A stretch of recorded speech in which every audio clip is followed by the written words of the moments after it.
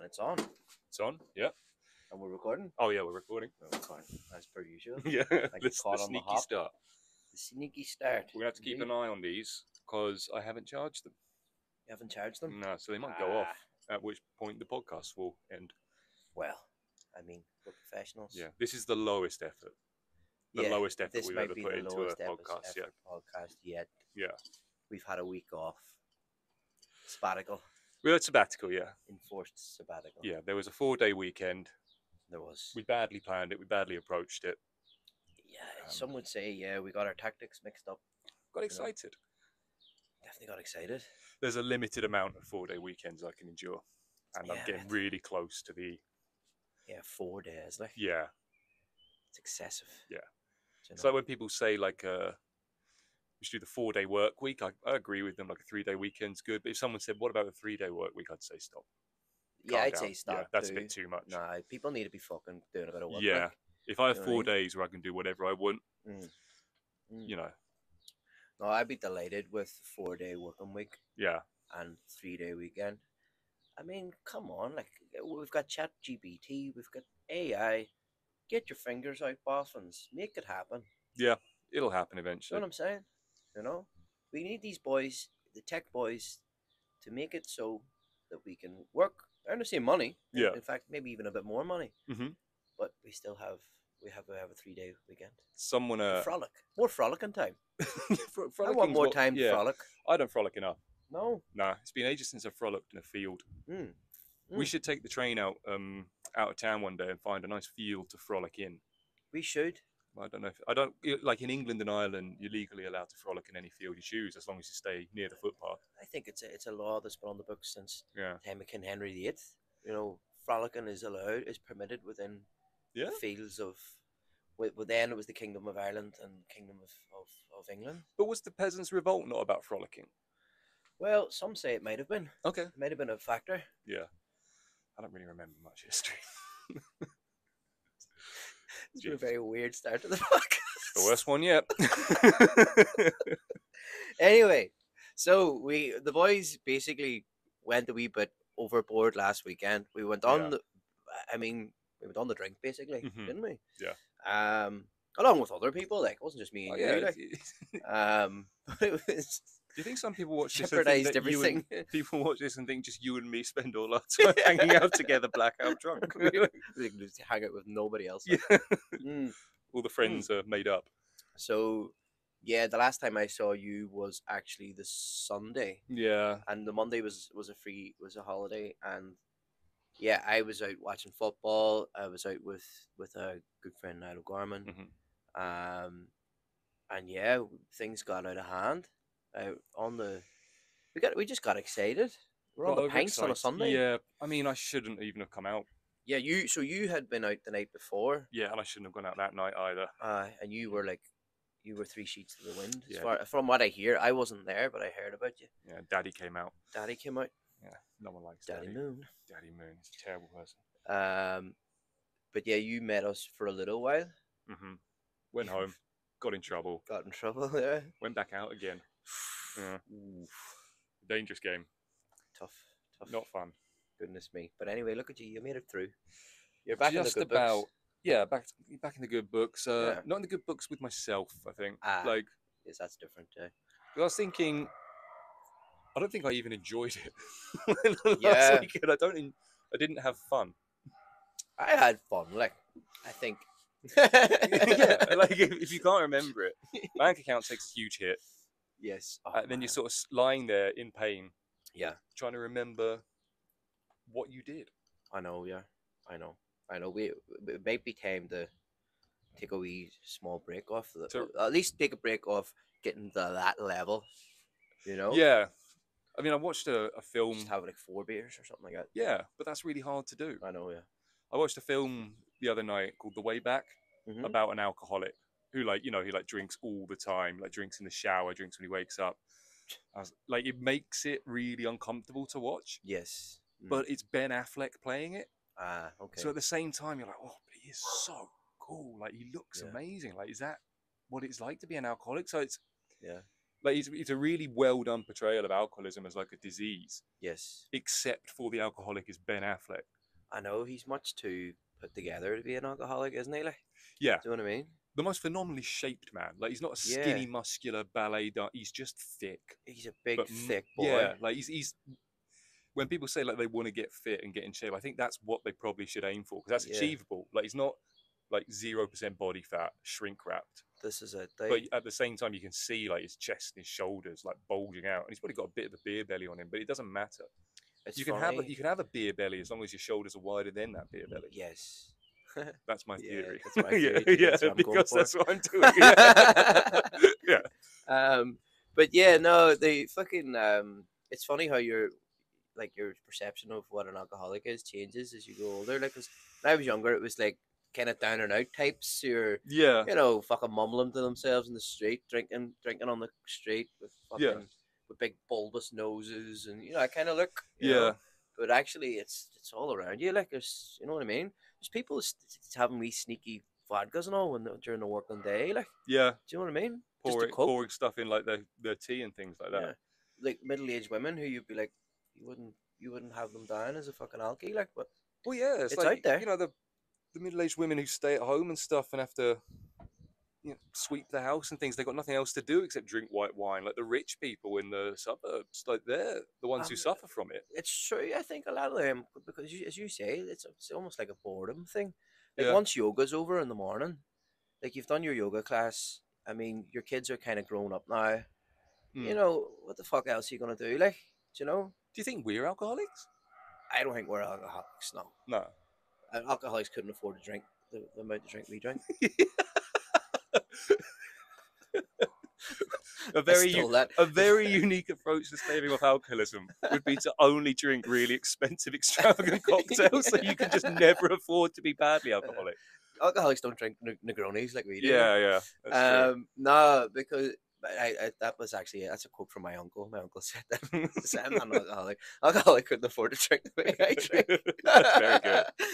um, yeah, no, this is it, mate. Um, 'Cause we don't I don't think we are alcoholics. No, because I think like I can go a long time without drinking. Like Mhm. I know I can. Like we did, I've done like dry January before. Yeah, yeah. it was, it was like easier than I thought and stuff like that. But I I will say this though, I am fond of a drink. Oh yeah, that's my I'm like. very fond of a drink. I worry about how much I look forward to it by about Thursday or Friday, Yeah. and I've I've tried going out before without drinking. I'm just so fucking bored. Mm, mm. Like, Yeah, going out when you're sober is, is, is it's a tough one. Like yeah, when everybody else is is, is on the especially drink, when like, everyone else is on the drink. and you see how like just you see how the, the stupidity levels of it. It Yeah. makes you very stupid. yeah, the things you come out with, like, and the Yeah. things you hear when you're sober and you, you're in, in an environment where other people are drunk, you're like, what are you talking about? Like, you know, but that's definitely yeah. us, though. Like, we people must listen to us and be like, those two guys are fucking insane. I'm very aware lately. And I don't know if it's Ah. always been like this, but I'm very aware. Usually around Canya number three, hmm when I'm starting to get drunk, but I'm still, I still think I could probably like, no, I shouldn't say that. I'm still Careful. aware, Yeah. like got a sober mind, but I can hear myself losing the ability to talk and Yeah. get my words mixed up. Aye. and that's a really weird thing to notice. It's like Yeah. watching, it's like watching your Uber driver like drunk driving, but you're inside your own mind. You're like, something's. I can see myself going wrong here, yeah, like know, starting yeah. to fail. But you just keep going. You Yep. push through. Oh yeah. Push That's through ca- Canya number fucking eight. Yeah. Well, yeah, that, that's what I noticed last night. Like I can do calm drinking, but they get to the point in my drunkenness where I'm like, it speeds up. The consumption speeds up. yeah. I- I- So it- suddenly I'm drinking a Canya every ten minutes, as opposed to making it last half an hour.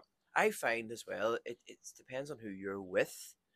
But like, there's times when I drink very fast, like, Yeah, yeah. and I go, "Oh, Michael, calm down," like, and I'm trying to drink slower now. But like, for example, yesterday after work, I had a few drinks after work yesterday. Yeah. And one of the guys who I was having a drink with, he's just knocking them back, like, and you, Yeah. then you kind of feel like you have to Keep up. keep up, Yeah. but you don't. You should really like. I need to be more like, sort of independently minded when it comes to my my my speed of drink. You don't you don't necessarily have to match the fastest person on the fucking table. I do You find take that. a moment, like I do find you that know? quite rude as well when you're with someone who drinks fast. It's annoying because it's, it's it? almost like they're drinking fast to Mm. bear being with you. Maybe. Do- Yeah. do you know what I mean? You want to tell like, hey, slow down. What the fuck's wrong? Like, I know. Chill out. you- Like. you don't have to be here. I'll leave if you want. Yeah. Um. But yeah, I I'm inclined to drink fast, and I need to be careful with that Yeah, and go slower. Go slower. It's not a race. Chill the beans. The other thing is the hangovers are getting worse and worse as you get older. Yes, I was a wee bit hungover this morning, like, Mm. to say the least. It's weird. Like they, they're getting worse. They last longer. Yeah. But they're not as unbearable as they used to be, which makes me think Yeah. my kidneys are dying. See, They're just not making the effort anymore. Something's gone wrong. Like, Yeah. But when I when I was uh, younger, say when I was like in my early 20s Mhm. um, and like late teens, I Mhm. would have I was a vomiter. I would have vomited a lot Yeah. whenever I was hungover. Oh yeah, I vomited loads when I I never younger. vomit anymore. Like hard, very rarely do I vomit from drink. Like Barely do it. Yeah. that's definitely that's a change. Like that's a change as I got Mm. older. I just have a busting headache and just want to Yep. just want to be curled up in a corner. Just drink lots of you know. coffee. I do. Um, but yeah, back then I was a big vomit guy. Yeah. I mean, We know a big vomit vomit girl, our our, Yeah. little, fri- our, little, our little friend of the podcast. yeah, yeah. Vomiting in bins. She's a, she's a great vomit woman when she's when she's hungover. so- Watching her sneak off to Just- vomit. Yeah, saying everybody knows what she's yeah, doing. yeah. Well, think that's her name. I we don't want to yeah. embarrass her, but like she knows. there's a certain amount of exhibitionism there because I've seen her vomit in bins or behind bushes Yeah. within visible sight of like portaloos and public toilets. like she'd rather it's like pissing outside. Sometimes it's fun. yes, You want to do it. Yeah, absolutely. Ah, I don't want Um, to lose my my little our little script here. We Another have a- thing we I have a found tiny out script. recently uh, for hangovers. Do you know what makes them better for me? What's that? Being on creatine. Seriously? Yeah, the stuff that um, makes you retain water, and it makes sense because it probably gives you a bit of a shield against the dehydration, which That's is the big point. the big thing for your hangover. I have creatine. I haven't taken it in ages, like, but I was taking it regular enough for a while. But I, I Mm. don't know why I just got out of the habit of it. But I must go back to it. And Well, yeah, because lately I've been having bad hangovers, but I got back on the creatine, Yeah, and they're not there anymore. that's it's like you know you can just drink some coffee and they're Yeah. fine. this is it, though. This is it. But I, I think it's important though to every now and again evaluate your relationship with alcohol. Yes, especially definitely. I mean, boys like us who are like we do like to socialize, we like to have a bit of crack, and Yeah, but there is you have to be aware that you you know maybe you need to take a need to take a break, or you need Yeah. to be mindful of your you know your speed of drinking and shit like that. You know? being being dependent on it for fun. Ah, That's what I worry about, Yeah, but I yeah, hate that when I know that's happening. exactly. Like for example, even today, like usually we'd be having a few beers now, like Yeah, but we're not today because yeah, No, you don't need just- to. La- last weekend almost broke Yeah. us. Yeah, exactly. Well, I was waking up thinking this morning, like one of my favorite things to do on a Saturday, and I realised I was looking forward to doing it, and it disgusted me a bit. Is to wake up and drink, like I've already told you, I drank so much coffee, I'm a bit jittery, Ah, and I Yeah. like getting into that like almost sick, coffee. almost sickening Sorry. coffee buzz, yeah, and then pushing it back with alcohol because there's a golden hour or so there is actually. where you're held up by the coffee, but the alcohol's relaxing you. It's true. But then the whole thing flips. Yeah. And I was thinking, like, that's a disgusting thing to enjoy. Like, I shouldn't be looking forward to essentially have an hour feeling better than normal to spend three hours on either side feeling worse than normal. Yeah. Yeah, I know what you mean. This is it. Like caffeine's definitely like it's well documented that it's it's it's a drug. Like there's Oh, no yeah, Who ways yeah. about it. Like, Most popular drug Um, in civilization. but like, yeah, it's it's definitely the lesser of two evils there as regards Yeah. that. No two ways about that. But yeah, nah, I know what you mean. There is there's a wee buzz when you have a coffee. Like for example, I drink that and then have a beer. You there's you do Yeah. you feel like a million the, um, dollars. Like The yeah. backswing. Yeah, when you go from caffeine high to alcohol low. Yes. But here, look at us being very reflective of, Yeah. about our about our drinking habits and stuff like that. Being very, very, very candid. I would say. I mean, I'm going to have a beer today, but Ah, I'm not gonna have. I might have a beer later. Yeah. You know, Yeah. I'm to have too many, maybe. this is it. But yeah, this is it. Like just because it's, I have to remind myself, just because it's three o'clock on a Saturday, does not mean that you should have a beer in your hand. Yes. Like I, I used to be like, less so these days. Like, but when I when I first moved to Barcelona and stuff, I was like, Jesus, it's two o'clock here, and I haven't had a beer yet. You Yeah, know, yeah. it's like That's okay. Michael. Yeah, You know, it's, it's fine. just take take a wee bit of a chill pill there, like you know. you see like the Europeans doing it, but you have to remember they're eating as well at the same time, and then This they'll go and have a nap, and then they'll eat tons more. speaking of Europeans, I, I was on my travels recently. Yeah, you were. I was in Italia, Yeah, in Italy, in Michael's- Napoli. Ma- Michael's review of Italy. Let's go. Michael's review of Italy. It was wonderful, I must Mhm. say. Uh, we were in Napoli and then we went down the Amalfi coast and stayed in a little tiny town called uh, Castellammare di Stabia, Lovely. which is like kind of between Sorrento and Napoli. hmm Full of Americans, though, I will say. um, you could not move for Americans. Allowed So Americans. many Yanks. I've nothing against Americans, like, but there was just notably a lot of them. Uh, and they do tend to be quite loud, They're, yeah, they're like the English when they're abroad. Very loud. You Um, know they're there. but it was beautiful, man. I really enjoyed Pompeii. Pompeii was class, Yeah, very dick heavy, you know, very They dick centric. they love the dick, the Romans. Big fans. Yeah. Um, and also a lot of knocking shops and well, the, in fact, the penises direct you to the not Yeah, to the the prostitutes. to the the bordellos Okay, to- that's what they're called. to to give it its proper title. hmm Um, but yeah, so Italy was beautiful. The people are so nice, man. The Italian people are so welcoming. I found Yeah. them very, very welcoming, very funny, very like just happy to meet you, basically. Like you know, and I contrast that a little bit with here in Yeah, Barcelona. yeah. You don't get the same welcome here. No. Let's put it that way. Like you know? in terms of like There's some lovely people here. Don't get me wrong, but Yeah. generally speaking, I mean, like as regards like service and stuff like that, it's much higher standard. because in terms of what they rely on for income, like they're both sort of tourist heavy Mm, areas. Uh, true, in terms of their market, but Yeah. in Italy, they're nice to you. they're they're genuinely cool. Whereas here, they seem to want you to go away. Well, they write it on the wall. Tourists go just home. go home, yeah, and like, yeah, I think they they appreciate the fact that you're you're in there spending money and you're Yeah. and you're enjoying their local food and they're very they have a lot of pride in their food. I had the best pizza probably had in my life in Nap in Naples. Like it It's was good. just wonderful, wonderful pizza. And the thing about it is, man, so light as well. You eat one of them pizzas, Yeah, Neapolitan style that, yeah. ones, and you're not bloated. And you know, I, I one of my things, I'm constantly battling the bloat. Yes, yeah. I'm I'm I'm I'm, I'm always I'm, I'm at fucking loggerheads with the bloat Yeah. constantly, you know. Okay. And th- that was great for the bloat Okay. It- it- non-bloat pizza. because I don't know I don't know maybe it's because it's fermented for so long or whatever it is, but it's not. You don't get that, Yeah. you know, which I was delighted with. And are they thin crusted pizzas? They're, they're kind of kind of puffy, but they're they're you know they got that kind of burny sort of edge. Yeah, yeah, thing. yeah. Nice. Ah, it's so good, man. It was it's good, yeah. delightful. Um, but listen, this is going to lead me into Mike's Gripes. Okay. All right. Let's grab. So it's time to gripe. Okay. Welcome to another episode of Mike's Gripes. It's uh holiday inspired gripe. Mhm. So I mentioned this already. It's not specific to Americans. I'm not being like you know, whatever. I'm not being Okay. Yeah. discriminating against Americans here, whatever, right? But obnoxious tourists Okay. is my gripe this week. I'm talking. So I'll give you. I'll paint the picture for you. We're in the island of Capri, hmm right? It's been a fucking movie set. Uh, Giorgio Armani has a fucking house there. Yeah. You know what I mean? Beautiful, beautiful place, right? You're sitting there, I'm enjoying it. I'm Andrea's away poking about the shops. Mhm. I'm having a wee drink of coffee or some shit, I can't remember, right?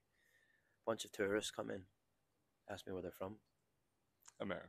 They're They're from America. well, Yeah. well, they're from America, right? Yeah. Obviously. Immediately, the decibel levels go through the roof. Like it had been just a nice, quiet. Obviously, Italians aren't aren't quiet people. Like, but you know, it was it was, at a at a reasonable level, Mm. tolerable, right? They come in, my eardrums are nearly burst, and it's all just rah, rah, rah. It's not like, you know, it's all just talking about fucking things of zero consequence and yeah. just just like oh, sh- what it is. It's loud and it's crass Yeah. right? It's Yeah. loud and crass. And also, the guy, there's a guy, right, in this party. I think it was like a party of six or seven of them. Mm. This guy, probably in his probably in his late forties, early fifties, sits down, ordering a drink. He's taking up way too much space, way more Yeah. space than he should be. Puts his feet up, puts his fucking feet up on the seat, right? And uh, bear in mind, like this is this is like this isn't this is a fucking restaurant, right? It's a bar, a restaurant. Like, Mhm. what the fuck are you doing? But he did it, and I was thinking, I wonder will the man say something? The Italian fella, the the the waiter or the manager, didn't say anything. Like, took his order, and he was too polite to say anything. If that been me, I'd be like, "Excuse me, sir, but do you mind taking your shoes off the seat, please?" Yeah. Do you know what I mean? Like, have some no, yeah. fucking decorum. Have some respect for your surroundings. Mhm. Do you know what I mean? It, and it, it, it's just it was obnoxious, is what it was, Tom. And it, it just it, it, it made me gripe hard. I was looking over and I was going, shaking my head like this. Do you know what I'm saying? Yeah. Putting his feet up. Like I, I by all means make yourself comfortable, but putting your feet up in a fucking restaurant, what do you think this is? Yeah. Do you know what I'm saying? It's disgusting. Yeah. Fucking but it's not exclusive to Americans. Like obviously there's Irish people go abroad and they're fucking obnoxious and all too. But this group in particular just fucking wound me up Yeah. thinking, at least have some respect for where you are, like, and have some respect for the people who are working here. Take your fucking feet off the seat. Do you well, know what I mean? yeah. Address the elephant in the room for obnoxious really- tourists. The grapes really get my blood pressure going. Did you see that? Yeah. Anyway, sorry, say it again. Yeah. Addressing the elephant in the room for obnoxious tourists. These guys in the town centre here. English. Yeah. English. Yeah. and Mm. it's like you can sit in like a like a nice terrace in Barcelona. Yeah. And the square will go quiet when a bunch of like loud English lads walk through, tops off. yes. Yeah. and yeah. Like the English lads are the only people who do that here, I walking around the town centre with their tops off, and like so drunk their eyes are just red. They're Ah. sunburnt, drinking beers in public, and just Yeah. shouting at each other. Like, The top off in public thing is if oh, come on. if, if you cannot on, like- see a body of water, Yeah. put your fucking shirt on. yeah, I think that's the general rule, like, isn't it? Yeah. Um, but yeah, listen, by all means, tourism's a good thing. Like, I Mhm. think tourism's a positive thing. Generally, it's, it's you see things, and obviously, I was a tourist, and probably people look at me going, "Look at that wee fucking Irish prick." Mm. Who knows, right? But um, if you're going to go to another country, I think you should have a bit of, a bit of like, a bit more demure, be a bit more demure, a bit more fucking chill, Yeah. and a bit quieter. Just be a bit quieter. Mhm. Speak softly to the people, Yeah. to the server. Be conscious be of your fucking polite. surroundings. Yeah. You know, Stop being an animal. fucking. I, I, it was boiling my. I, I was more angry. I was more angry than the bloody manager Yeah. the place. He seemed to be all. I don't know if he was all right, but he was just being welcoming, I suppose. But if that had been me, I'd have been like, "Excuse me, sir." It's probably not even the worst tourist he saw that day. Probably not. Yeah. Yeah, like you could not move for them, like uh, for Mhm. for for for tourists. And there was a tourists from all over the world. There was a lot of Irish as well. Like Yeah. you know, um, and generally speaking, like you know, there's no issue or whatever. It's just whenever tourists take it upon themselves to be like they're it's like they're invading almost, and Yeah, they're like yeah. being like, uh, "I'm here now," and you know, Well, I think it's poorly have a bit of educated. fucking respect. you They're know what I poorly mean? educated. Like it, it, it, travel used to be quite a hard thing to undertake, and now you open a newspaper and there's a whole page ad saying, "Pay this amount of money, Yeah, and we will put you here, feed you, give you somewhere to sleep." Pick you up from the airport. All you have to do is pay this money, and you'll spend a week in Capri. It's true. and yeah. Mhm. We will handle everything. Like And you know, in a lot of ways, it's a idiot positive it. thing that uh, in a lot Yeah, of ways, yeah. like you know, you know, but travel it's- educates it makes it more, it's democratized it a bit more. It's you know, you you, you can save up a bit and Hmm. with a with a with a sort of reasonably well paying job, and you can go go somewhere nice, you know, these days. yeah, And you made a good point recently. Actually, I remember you saying that our generation, sort of more so than maybe previous, take a lot of validation, get a get a lot of validation from travel and from Yeah, yeah. experience, from that's how they build their things. identity. Hmm. Hmm. I like I see a lot on TikTok these days, like uh, like people who like making TikToks like planning my next uh, holiday, like planning my next travel route, like Yeah. talking about traveling as a lifestyle.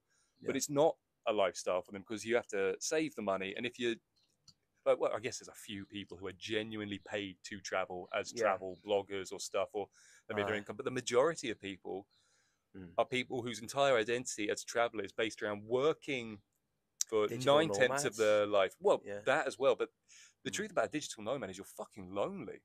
I would say so. I'm on digital nomad boards and stuff, and all of them are like anyone living in Lima, Peru, who wants to hang out. Yeah. And then like three or four people will be like, "Yeah, let's go for a beer." That is a terrible way to make friends. You're not going to meet anyone worth hanging around with by reaching out onto the internet yeah. to meet with other people who are like that. Yeah. The like- friendships type would be like transient friendships. Yeah, and- exactly. Or you, you know when you hang out Bit with someone because you've got no one else to hang around with, and you just sit there drinking, like the Mm. worst kind of friendships. You might you're better off being alone. This is it. I, I was told recently as well to be. Blue. Where the fuck that come from? Anyway, never mind. Um, somebody was telling me recently that to be a digital nomad, you need like a certain amount of money in the bank or something For to a like lot register. of visas, yeah, it's for a lot of expensive. visas, yeah, to get a visa. Mm. have to, I think in Spain, had, you have to have like twenty five thousand or something like that there in your bank Sounds about account. right, yeah. Yeah. Um. So it's fucking you need you would need to get saving. But yeah, no, this is it. I think that um, we do as a generation we do we do tend to we our, our experiences of travel are are very Mhm. meaningful for us. I think. Yeah. You know, more so in previous generations. I think, like for example, the boomers. Yeah. We're talking very general here Yeah, and it's just a bit of crack. But the boomers got a lot of validation from owning property. owning things, yeah. That's how they validate themselves. Materialism. materialism. yeah. Like our generation isn't very materialistic. And there's, don't cer- think there's a certain bounce back towards that though, with like Balenciaga and yes, all these, you know, owning the shirt with like champion written on it or supreme. But yeah. that's not really materialism. That's like I'd say hype beast culture is Yeah. so is so materialistic. It's not materialism yeah, because all these things look awful yeah, or are just very very plain with a single thing on it. It's like tribalism. yeah. Brand. But Supreme. That's a weird one as well. talking about boomers and identity, Yeah. here's a question I've been wanting to ask you for ages, and I keep forgetting to ask you it because this is so fucking weird to me. A lot of the time on the internet, Mhm. as you know, maybe the viewers don't, I love getting into arguments on the internet with people taking any opposing political viewpoint and dying on that hill, making up facts and studies, Yes. linking people to those facts and studies, always linking to the same picture of Harrison Ford, by the way, because no one ever clicks the links. Yeah, That's what I yeah. worked out. You can say, actually, here's a study that proves you're wrong. Send the link and just write, because you know, in links, when you when you write a link, you can Yeah. Mm-hmm. write the link and then the target. Yes. Target it to the same picture of Harrison Ford, and then make the link like uh, Yeah. www.edu.harvard forward slash study. Tom Moon special. It's a, there's a Tom Moon way to win uh, win an argument. Yes, on the internet. Yeah.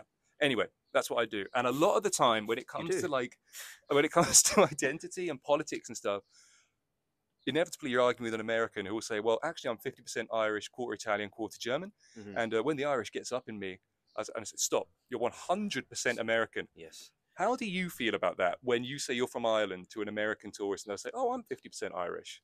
Does that mean Um, anything to you? Because it's definitely an American thing Yes. to do an ancestry.com thing and then Yeah. assume that culture is part of your identity when you found out and I it means nothing. So I think maybe it's because America's such a still such a young Yeah. nation, young country Hmm. that they, they sort of a they'll go back into their ancestry to try and form a national identity. Yeah a bit more a solid identity. history But yeah, like the, as the, the, as regards that, that is a fucking that's like a like a meme now. Like uh, Yeah. they would say, "Oh, my great great grandfather was Irish" or whatever. yeah Um, listen, man, it it doesn't bother me. It's just like I feel like it's I don't know. This is probably like a it's a symptom of having like a green tinted glasses, looking back Yeah. into the into Ireland's past and wanting to be associated with that. yeah Um, by all means, like knock yourself out. It doesn't fucking bother me that much, to be Mm. fair. It's a bit annoying, I suppose, whenever they're I, I don't know. You just it's a bit annoying when, when, they that, dye when the this river green in yeah, or, Chicago or, or yeah, kind of patty whackery. yeah You know, it's quite outdated now. This notion that we're all fucking jan- dancing jigs on the crossroads, drinking fucking Yeah, I find that it- like, it's- bottle or whatever. You know, because if you did that for like other cultures Mm. do you know what I mean Mm. like it dyed the river green wearing the little hats on St Patrick's Day Mm. only drinking Guinness there and the hats annoy me. Yeah, and saying like, "Oh, it's St. Patrick's. Day. Let's get blackout drunk in celebration of this culture." Know, because yeah. like, that's a real racial. Like, imagine if you dyed the river red, put on a feathered headdress, and Yes. then yeah, drank gin until you passed out. Like, I know, yeah, I know. This is it. I but yeah, it's it's a, it's an interesting thing. This that sort of that this it's it's become it's it's not just American now with the advent of these sort of ancestry.com type Yeah. websites and stuff like this. People wanting to delve into their genetic history and use that sort of genetic history to help to help them form an identity today. Yeah, exactly. And it's, I mean, come on, fuck, like Yeah. fine.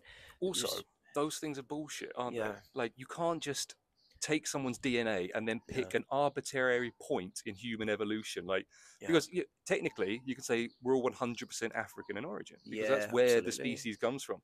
But they're just Exactly. picking some point and yeah. it seems to vary from person to person. And then they're saying like, oh, you're 20% Indo-European, 40% African. Like that means nothing. I know. Then. I think they're making it up. You know?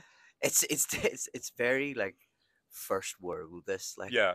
isn't it? It's just you know what I mean. Imagine like people, in, you know, somewhere in the fucking in, down in Africa or whatever, like reading about this, going, Mm. these fucking dickheads, like there's, fucking there's problem with them, yeah. money looking into their. I'd love to. I'd love But to it is the. kind of interesting to be fair though. Like I I, but I would hesitate to do it. You know, it's yeah, I don't want to get on their database. yeah. I There's don't people who like get- that. There's people who get arrested because Yeah. like their cousin took it, Uh, and they get a match for like a crime. something that happened They prove them wrong. They're like, but we're gonna. Mm. That's enough to like check all your family members out, Yeah, and then they'll get a hit on someone. this is it. Yeah. Um, But I mean, I would, be curious to know. I would be curious to know my genetic. I suppose it would be interesting to, to see where various people came from, grandparents in the Yeah. past and stuff like that. But do you Um, think like if you did if you did three of them, do you think you'd get the same results consistently? Because I really wouldn't be surprised. I think there would be yeah, some variation. I, think they make Yeah. it up. I think so. I think there's a bit of bullshit there. They'll they'll like, all you know, probably put a big portion of it. All right, you're Irish. You're a Yeah. small. They can you can infer basically. Yeah, exactly. A lot of it, I think. Like Well, I think like there's no point in me doing one. My dad's traced the family tree on both sides. We come from like if you go back four or five generations, both sides of my family are living within a few miles of each other. So there's Yeah. obviously inbreeding, oh, which is great. yeah.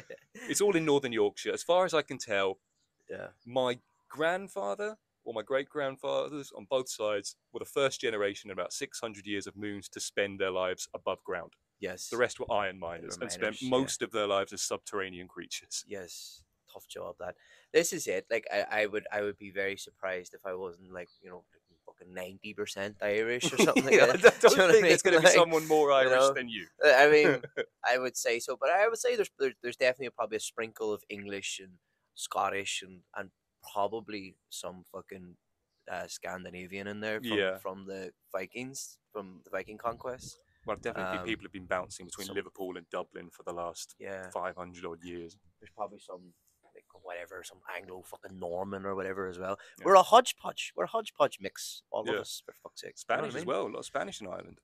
They Yeah, there's a washed bit up of from the Armada. Yeah, there's there's definitely a bit of Supposedly. Spanish I fucking vibes as well. I think I heard somewhere recently that's not true.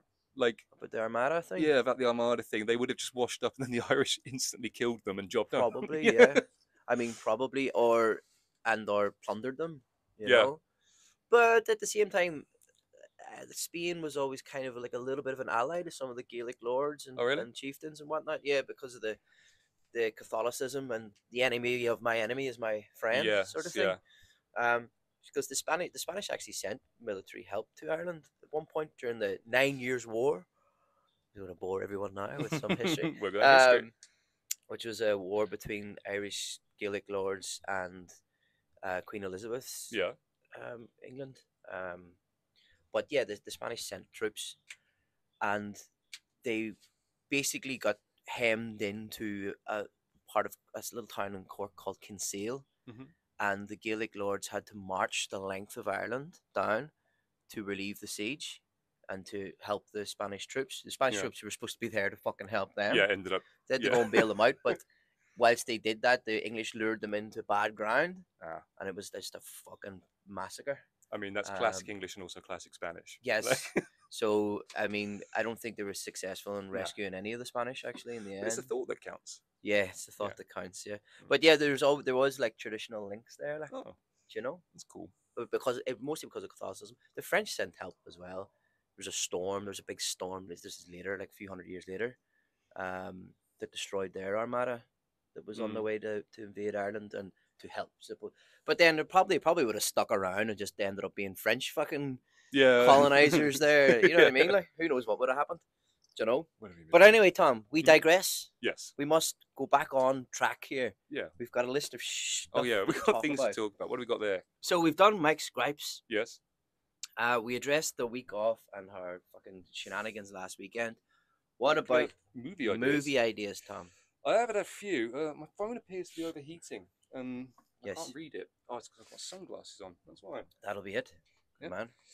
It's not much better, but I can try. Wearing black jeans in the uh, in the heat, sunlight. Yeah, It's gotten big mistake. hot. yeah. This is only happening That's this week. hot. Now, yeah. The uh, once again, the movie ideas were written in sort of not blackout, but maybe a hangover, alcoholic fury. Um, Well, I'm excited. The caffeine is kicked in from this cafe latte. what's um, going on here? I can't read them. Oh, there they are. Okay, Tom, Okay. take it away. Yeah, I went Harry Potter. I've been thinking a lot about Harry Potter this week. Um, Harry Potter. They're making a new fucking TV show. Yeah. You see that? it's ridiculous. It's Like, pointless. leave it. It's Yeah. done. It was it was fine. There when was we did it. wrong with it. Um, Is it, i Do they want to like wokeify it or something? Oh, they'll definitely wokeify it, but I think they just still haven't addressed the main problems in Harry Potter. Which is Well, like you can't. My problem with the first Harry Potter book is you say to this young boy who's been bullied all his life and abused, "Hey, you can do magic now. Here's a wand to do it with, and here's books describing all the magic you can do with this wand. yes. Now sit on this train to Scotland for six hours, Mhm. and don't hurt yourself." Yeah, it, there was a lack of supervision, and Yeah. the fact that Hagrid just vanishes Mhm. and leaves him in London. Yeah. To try and find platform nine and I three mean, like, quarters. I wouldn't been surprised if Harry went on a rampage then, taking out like like the years of abuse he suffered by Uncle Vernon. It's like, oh, this this spell will tell me how to like petrify people, like what's Petrificus totalus. Just do that to Uncle. Vernon and kick the living shit Fuck out of him until the spare Oh, off. you'd hundred percent Yeah. be looking for revenge, like Yeah. wouldn't you? And I wouldn't let a girl who's in the same position cast Oculus Reparo Yeah. on my face. I know. Yeah, you'd You- snap the wand out of her hand. I Wouldn't mean, there's no evidence in, in any of the books that magicians have any ability to cure ocular diseases because Harry still wears fucking glasses. it's true. Yeah. Yeah, and you're gonna let a little girl. I wouldn't let a little girl point a stick at my face anyway. There's let some- alone if the stick did magic. There's a, there's glaring plot holes here. It's yeah, Glaring. Yeah, in this book about wizardry. okay, Tom. anyway, the first one, uh, it's called. Oof, and yeah, might have to cut this one out straight off the bat. Oh. Uh, Harry Potter and the reintegration of what were previously considered less able children back into mainstream schools.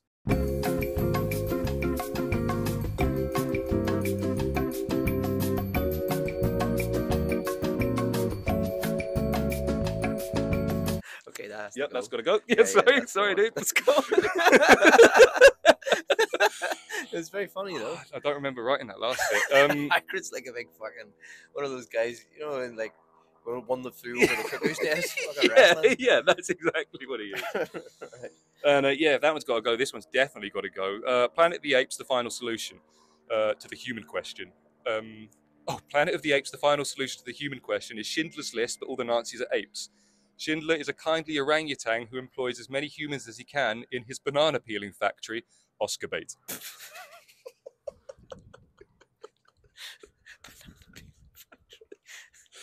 I don't know. Oscar bait once again, huh? I need to Fucking the stop. Academy are going to be chomping at the to stop doing these when I'm drunk, or like review them before I read them on the podcast. I think you're gonna like. I don't know. for it. Uh, this one is either called Gladiciator or Carry On Up the Colosseum. Uh, Carry on up the colours. a Roman general is betrayed by the country he loves and cast down into slavery, where he is sold on to a theatre company and forced to perform as an over-the-top pantomime dame. Okay. Uh, film slowly transforms from swords and sandals epic into drag comedy, innuendo-filled romp.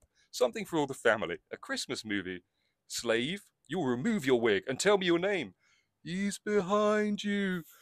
Oh, Maximus! That spear's all up in me jacksie! Jesus Christ. what the fuck? I don't know what that one is. Where did that come from? yeah. Where were you watching a documentary about Rome or something, or I don't know. something happened? My girlfriend told me a few weeks ago I watched Gladiator and just burst into tears and went to bed. So it's probably probably that night. Um,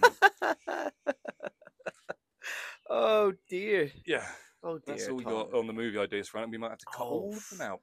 I mean, the Roman one could maybe stay in. Yeah. I think that could stay in. Um, the banana peel one. it- I don't know. You- You've got another. You've got obsession with Oscar Schindler as well. I just think he's cool. Thank you very much, Tom. Yeah. Tom's movie ideas, they're getting better and better. yeah, and I'm gonna have to cut most of them out. They're getting fucking crazy, is what they're doing. Getting right. Listen, Tom. Mhm. It's ti that time again. So Sure. the last podcast, we've been very fucking low energy today, haven't Yeah. we? Yeah. We need to pick things up here. we should, We should have had some beers. we should have had beers. Yeah, have had it was a mistake not Right. to have beers. So, Tom. Yeah. Sorry, what? I was getting the giggles. Um, last week we ha- uh, we had we had Belfast isms, right? Yes. Belfast sayings. Now we're going back to the northwest, Okay. Donegal, for some of uh, John John Muldowney's famous so famous sayings Yes. or ones that he's collected over the years. Right. Okay. I have to get my little list here, envelope, and my spectacles. So prepare myself for the read. These fucking glasses have seen better days, you know. Look at the fucking state of them, like Jesus. Yeah, maybe clean them. Right. So, um, okay, Tom. That fella would drink pish from a cow track.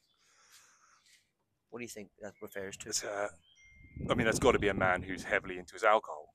It's a man who is fond of the gargle. Yes, You know, we drink piss from a cow track. He would he so Cow trap? He would uh, from a cow track. What is that? So like the track that it's left behind, like a footprint. Oh, and cows pissing pish. those. He would drink pish from a cow track. This I've also heard a variation. He would drink. He, would- uh, he would drink. Uh, drink it out of a tramp shoe. Yeah, yeah, I've heard that one before. Just is disgusting. Have you got any ones like that where, for someone who just is, is a is a, a great man for the booze? No, it's it's not a big place for sayings. The south of England. No? not really a big place for talking Very, to people. very Yeah, to the point. straight to the point. Anglo-Saxon. Write a letter. Yeah. Okay. Um, if he was any thinner, the one I would do him. Did we have that before? Yeah, we had that one before. Oh, bollocks. Yeah. but it's a good one. I've shafted it. I've, made it. I've, I've ruined this segment. Um, I only drink. this is a quote from an Irish writer. Mhm. I only drink on two occasions: when I'm thirsty and when I'm not. That's great. People wonder why we have a reputation for being a wee bit, you know, rambunctious with the with the, with the liquor. Yeah. I mean, some of our famous Yeah. writers come out with stuff like Just that. drinking all the time. There's a there's a one um, there's another one he did. Uh, Work is the curse of the drinking classes. That's another great. Brendan Behan one. Um, and there Is was he- another one. Is he the um, guy who's um who's got that? There's that video interview of him where his wife's talking about how That's in, a different guy. I was just about to bring that up. Yeah. So I believe that's John B. King. Okay. Um, that that video is wild. Like, Yeah. but it's like he's so poetic about it, about drink. Makes you want to be an alcoholic. Yeah. If anybody has seen this, maybe, maybe we could stitch a wee bit of it into this. I'll see if I can stick. Like just know? the bit where his wife says like, "You're horrible when you're not drinking." Like I tell you, go and have a drink. He, we, we, we tell him, oh, go on now and have a drink. He'd be beating his hands bloody on the wall very angry. But when he takes a drink now, he's grand. He's fine. it's know? insane. There's no man been born in this earth with the love of liquor as much as I do. You know? I love I love the plop. I love the Yeah, violent hit yeah. of the whiskey as I chase it down with a pint or whatever, Yeah. something like that. Yeah, like, that's great. but it's definitely not something to listen to if you're an alcoholic Yeah. or you're struggling with drink or you've been Mhm. sober for a while and you don't want to go on the drink because he's just like you're like fuck right I, I love a beer right now. There is something romantic like about the classic sort of alcoholic, especially like Mm, the Irish ones. But you, like you just don't see the reality of it. The It's like a- reality it's of a it romantic ideal. Yeah. Like yeah. like for example, what do you call the romantic notion of alcoholism? That uh, writer Charles Bukowski. yeah. Um, I read one of his books last year, Factotum, and it's just like his like basically like memoirs, like diary of when he was on on just on the drink, man. Yeah. he- on his in his twenties, like, and the things he got up to, and it's it's funny and it's a good read, but it's also bleak and Yeah. dark and like fuck me, like heartbreaking Yeah. stuff, like. Do you It's know? not fun. It's not fun. Yeah. Um, I can't believe I fucking used one of the other sayings. It's okay. I can't. I can't because they're all recorded, Yeah. so I can't be like pulling them out now to see what, Yeah. to, do, to do another one. What, do you not have any others? I don't have any. Oh, right, okay. just had the three. That'll be fine. That'll do for now. It can't be worse than my movie ideas, which all turned out to be horrible. oh, Tom. Oh yeah. Okay. So Yeah. I have another thing I want to ask you about. Yeah. What a podcast this is. Huh? This is real good shit. It's a low Um, energy hadron collider. So, yes, this is a listener contribution. Mhm. Zombie apocalypse. Ah, We haven't talked about this, right? No, No. This is a cool. Zombie apocalypse, Tom. Like Last of Us style. Mhm. You've been made aware of it. What's your first move? What are you doing? Find a tower, Mhm. live at the top of the tower. I was thinking Tower too. Mm. I'm a big guy for towers anyway. That fucking one That there. one, yeah, going straight up there, Yeah. and then I don't know, killing my enemies. There's a there's a um, there's a shopping grass here that sells crossbows. Have you ever seen it? A lot of windows though in that tower. Is that a disadvantage having so many big windows because people could do you know what I mean? See you walking around, or, or like the the wee the wee like gremlin fucking uh, zombies could see you and want to crawl up. Or Well, I think in any zombie apocalypse, the problem isn't the zombies; it's the survivors. it is. Yeah, Hmm. it's the it's the bandits. and, Yeah, bandits. like you, we've both read fucking what do you call him? Uh, We've both read The Road, Cormac Yeah. McCarthy, That's what you have to and like it was the people. It was wasn't even it wasn't zombie. It was post apocalyptic, but it was just like roving bands of marauders. Yeah, that's I mean, the worry. you, you you need to defend yourself from them. There's a like I said, there's a shopping grass here that sells crossbows, so I'm going straight in there and taking all the crossbows. Yeah. Denial of resources, all th- of them for me. Here's the thing uh, about, about the conversations like this and the Mhm. scenario like this. You need to be. You need to have the jump on everyone else. hmm So say you've got prior knowledge, you've got like you've got 24 hours to prepare yourself. That's the sort of and Yeah. Then every uh, everybody else is going to be made aware Yeah. of it. So you need to get fucking shit done quick. What you need. I would think a flight somewhere, man. yeah, I think what you need to do is realize that the majority of the killing and the dying is going to happen in the first week or so. Yes. So you need to get out of here for a week. I'd take one of the yachts Yeah. in the port I thought about and that then too. get about 30, 30 meters away Aye. from the shore, so I can see what's going on. And like, if people are asking for help, I can just say no. nope, no can do. My hands are tied. Sorry, man. My hands are- I don't know how Um, to drive this. Yes.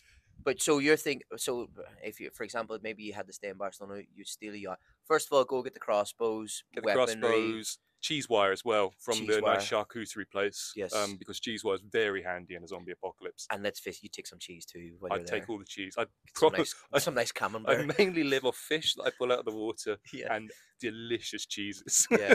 And like loads of wine. get really need che- a lot of wine. get really cheese fat during the zombie apocalypse. oh no, I'm delicious. yeah, oh yeah, hundred percent. Um, Oh, you're definitely stocking up on the good snacks. Like yeah, yeah. snacking. I'm Snacking. 'cause I can't cook anyway, Yeah. so I'm designed for a zombie apocalypse because I pretty much eat like I'm in one yeah. I'm left to my own devices. I'm thinking, yeah, crossbow's a good one, Mm-hmm. and samurai sword for up close and personal stuff. Yeah. you just yeah, that's good. lop a head off with that. Or what's the um?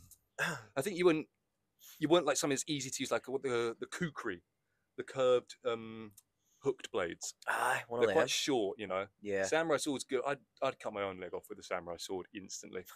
maybe. Yeah. Maybe a machete, but again, I'd hurt myself. Rope. Mm. You need a lot of rope. You need a lot of rope. You need as well dental equipment because that's what will kill you eventually. You'll get a bad tooth, Yeah. and it will get infected, and you'll die, or That- you won't, or you won't be able to eat enough because your tooth hurts. How shitty would that be? Yeah. So you you know? need you need Novocaine to numb your mouth and good pliers to pull out the bad teeth. A lot of Novocaine. Mm. This is it. I, if if if in the scenario is that you could go somewhere, you've got 24 hours, and you, I think, honestly, the west of Ireland's going to be the last place to get hit. Like, there are parts of the, what I we- mean? the parts of the west of Ireland where the zombie apocalypse has already happened. I mean, according Uh, to Images. like yeah. I think like the outer reaches of Donegal are going to be relatively all right for a while. It's Mhm. gonna it's gonna take a, definitely a few weeks to hit there. Like go to one of the islands Yeah. off the coast of Ireland.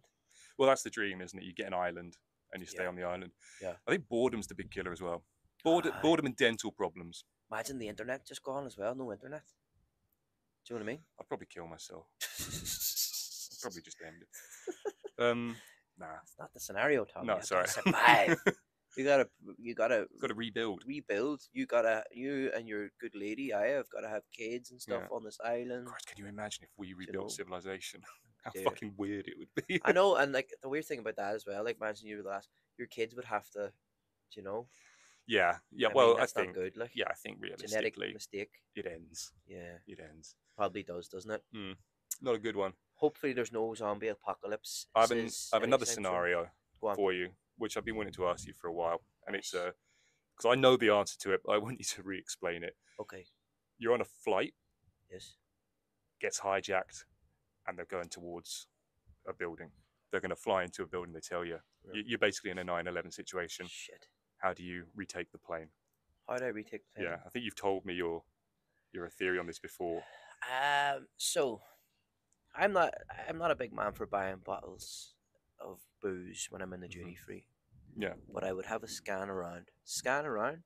Mhm. See, maybe. So, for example, maybe there's a nice young chap beside me Yeah. who's got a bottle of Jack Daniels. I Mhm. say, listen, buddy, a bottle. Give it to me. Okay. He said, why? Why? Says, listen, you'll fucking see. All right. hmm bottle of Jack Daniels. Hijacker's walking up and down the aisle. He's eyeballing people. I'm just sitting calm, as cool and calm as you like. Yeah. He walks past, and as he walks past, I leap out of the seat yeah. and crack him over the head with the fucking bottle of Jack Daniels, Yeah. smashing it. Okay. He's fucking out. He's out for the count. He's Yeah. bleeding. Mm. Finish him off with the fucking shard of glass, Mhm. and the, the other boys come after me. But at this stage, because I've because I've led the charge, Yeah. so to speak, everybody else grows a big set of balls, and we all fucking dive on them, Okay. right? Yeah. And I'm jamming away with the broken glass. Yeah. And uh, and uh, we we take the plane. How do you open the cockpit door? Smooth landing. I, do, I get on to Google and Google how to land a plane. Mm, how do you open the cockpit door if they've locked themselves in? Tell them it's me, it's Mick, and they let me in. What, Just rely on them knowing someone called Mick. Rely on one of the hijackers outside the locked door being called Nick. But you tell he's shouting through. Listen, we've retaken, we've killed the the hijack, or we've got them tied up, Oh, or whatever. No, no, no. The hijackers are flying the plane. Oh, they're in- already flying. They're the in the cockpit and they've locked the door like they did in 9 Oh, 11. fuck! I didn't know that. Like, Oh, I thought they were up and down the cabin. No, yeah, there, there was. Ah, there's one or two guarding you. oh, we're in trouble then. We're in trouble. How am I gonna? I maybe I could.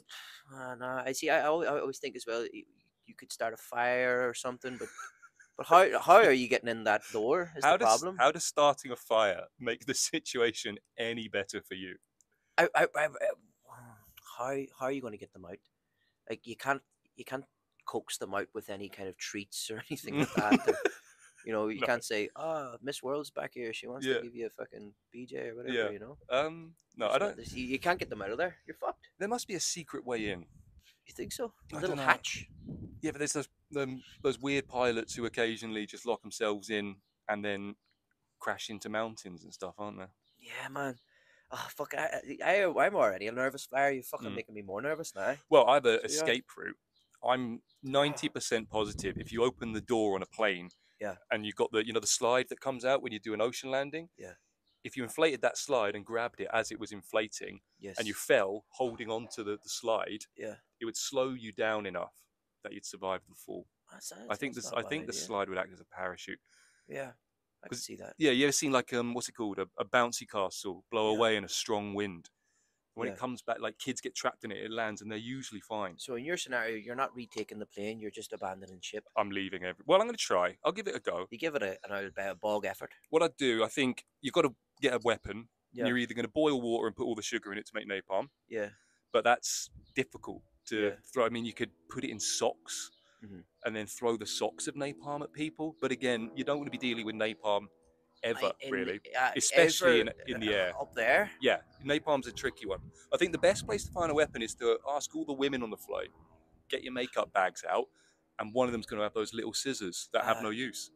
Or there might be a woman who has pepper spray. Sometimes women carry pepper spray, so they Ah, can. yeah. You Yeah, know? Any would be attackers. I think the 9/11 guys pepper sprayed the, the whole of first cu- first class, and no one could get near the door. Bastards. So you'd have to wrap your head in cling film. What a sh- what an awful shower they were. Eh? An awful They shower were of real bastards. cunts. They were the 9/11 lot. Fuck's sake, like you know what I mean? Absolutely. Nah, like yeah, this is it. It's. I think you're gonna go. You're gonna die anyway, right? In Mm. this scenario, you might as well go out swinging. Yeah. I would say. or falling from the sky, hurtling to the ground, holding onto a slide. Yeah. Fuck!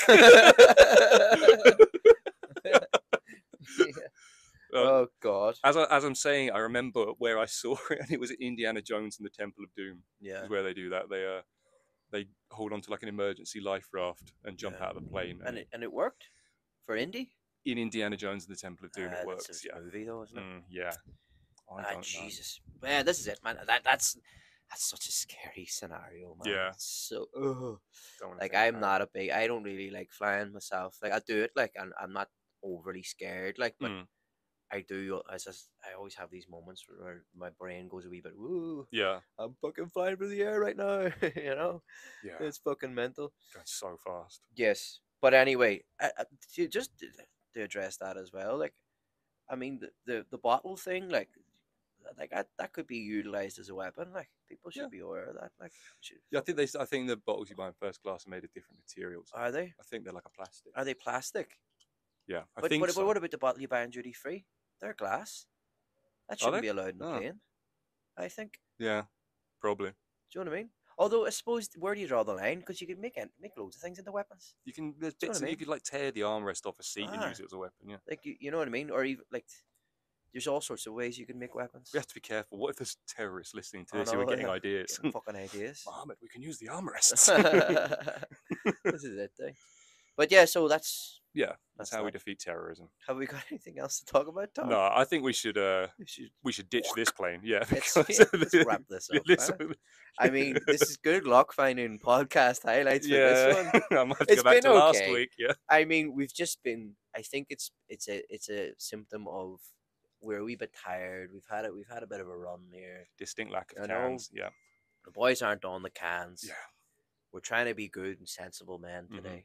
Um, Well, no, my phone keeps going off, which means someone wants to get on the cans with me. yes, Or but it- I think Vodafone? that next week, next Saturday, Mhm. we will go back on the uh, Yeah, we'll we'll back on the assume form next Saturday. assume form. But anyway, this is a this is just a filler. This will keep you going. Yeah. hmm We'll be back fit and firing on all cylinders next Saturday. Like, share, subscribe, tell your mates. Fucking yeah. I'm maybe going to move the release date to Tuesdays. Oh yeah. Yeah, Okay. takes the stress off a little bit Does it? later in the week. Yeah. Well, man, you Yeah. you got to look after your stress levels. It's very important in this life.